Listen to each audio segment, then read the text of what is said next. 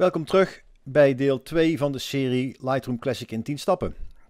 Met Lightroom beheren we, bewerken we en publiceren we rolfoto's. Dat gebeurt op basis van een catalogus, net als in de bibliotheek, waarin per foto wordt bijgehouden een JPEG preview, een voorvertoning noemen ze dat, de naam van het bestand, de locatie op de computer, de opnamegegevens, trefwoorden en gegevens van de fotograaf.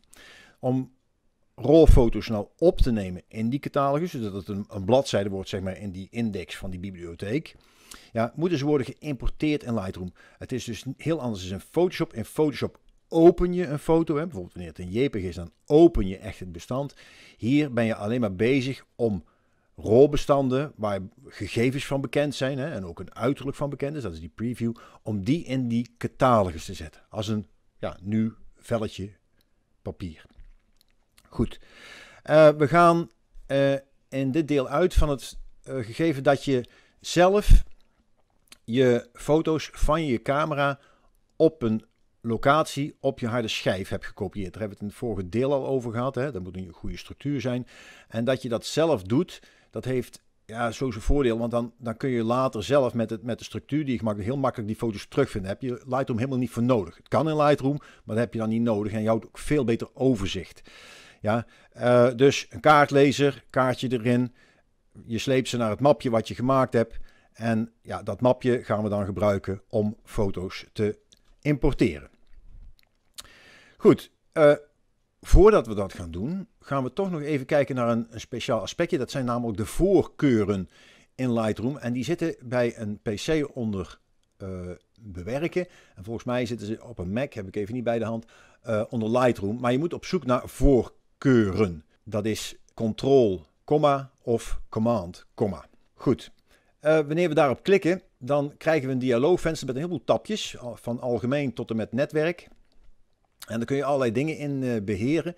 Nou, één ding wat belangrijk is, voor zeker voor het importeren van die foto's in Lightroom, is dat de optie in de importopties, dat zie je hier in het midden, daar staat dialoogvenster voor importeren weergeven als een geheugenkaart wordt aangetroffen. Dat moet je uitzetten. Volgens mij staat dat standaard aan en dat betekent dus dat wanneer Lightroom opgestart is en je zou een geheugenkaartje in je geheugenkaartlezer stoppen, dan gaat hij automatisch het importeervenster openen. Maar dan heb je dus nog geen foto's gekopieerd naar je computer. Dat gaat dan Lightroom voor je doen. En dat hebben we gezegd, dat willen we niet. Dat doen we liever zelf. Dus zet dat uit, dan word je daar nooit meer mee lastiggevallen. Je zult direct zien hoe je te werk gaat uh, om je foto's geïmporteerd te krijgen. Want die staat gewoon in het midden. Ja, klik op de knop importeren om te beginnen. Dus we klikken maar eens op importeren en we kijken wat er gebeurt. Er ontstaat een nieuw dialoogvenster. Even goed kijken. En in dat dialoogvenster zien we links een overzichtje van de lokale, van de schijven die aan mijn computer hangen. Lokale schijf C, nou daar gaan we niks opzetten natuurlijk. Uh, lokale schijf D, dat is de D-schijf. En een externe harde schijf. Nou, voor deze case heb ik gekozen voor de D-schijf.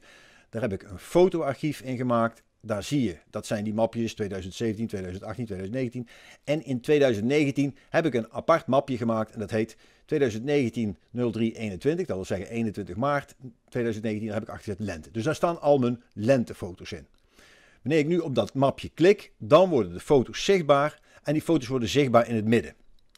Nou, de, de grootte van die, dat noem ik thumbnailtjes of diaraampjes, die kun je variëren met uh, hier het schuifje wat heet miniaturen. Er zitten vinkjes aan. Wil je wel of niet iets importeren, dan zet je dat vinkje aan of uit. Oh, ging iets te snel.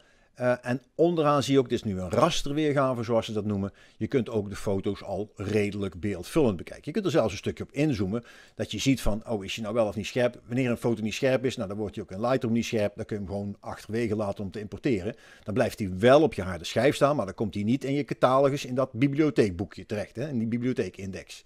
Dus wanneer we dit nou zo eens zien, dan selecteer ik uh, nou ja, een, een, gedeelte van die foto's. En deze, die dus lichtgrijs zijn, zullen geïmporteerd worden. De rest vink ik even uit.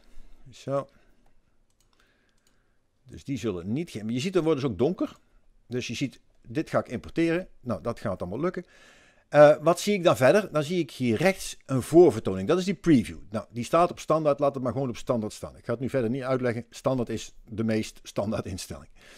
Mogelijke dubbele foto's niet importeren. Dat is wel een handige, want stel dat je opnieuw uh, foto's importeert die er al in staan, ja, dan, zou die, dan krijg je dus meerdere foto's in je catalogus, terwijl je maar één exemplaar nodig hebt. Dus die, die is altijd aangevinkt.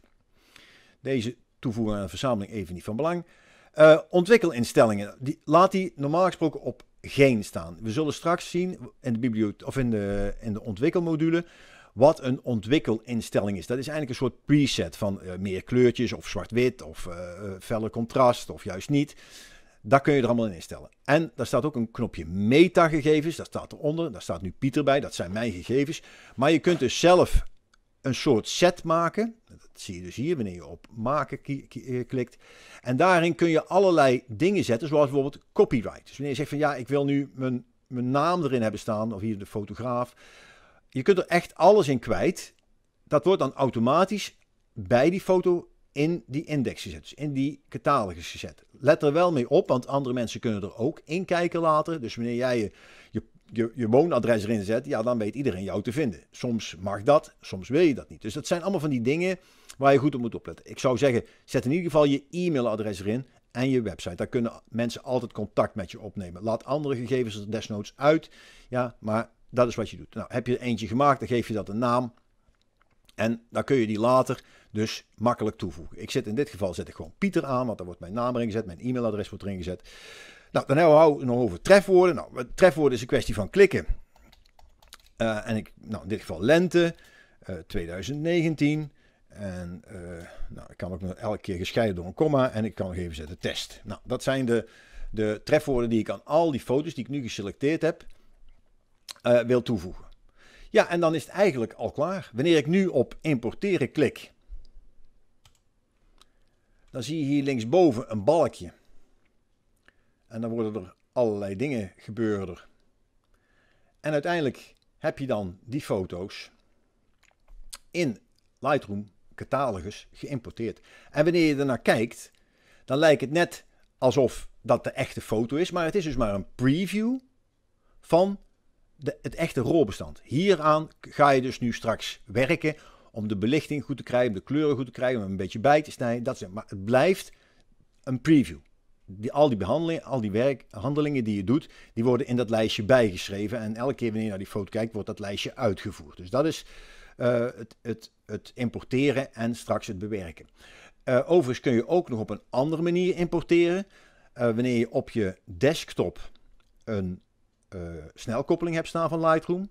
Je hebt het mapje waar de foto's in staan. In dit geval dan uh, 2019 03 21 underscore lente. Dan kun je heel dat mapje op, de, uh, uh, op die snelkoppeling slepen. Dan opent hij automatisch Lightroom en dan opent hij automatisch het importvenster. Dus dat is een, een tip. Ja, wanneer je niet uh, eerst Lightroom wil openen en dan uh, importeren wil doen, maar gewoon, je hebt het eerst in dat mapje gekopieerd, hè, dat heb je net gedaan, en je pakt dat mapje vast, het gaat dan in één handeling door en je sleept het op, dat, op die snelkoppeling op dat bureaublad en opent die Lightroom en dan kun je meteen verder. Dus tot zover uh, het, het importeren van foto's in Lightroom. Het is dus geen openen, je maakt alleen maar pagina's aan in die catalogus, in die index, waarin allerlei gegevens staan van de foto's, inclusief de preview. En deze preview is die je ziet. En de volgende keer gaan we naderen hoe nou de interface van Lightroom in elkaar steekt.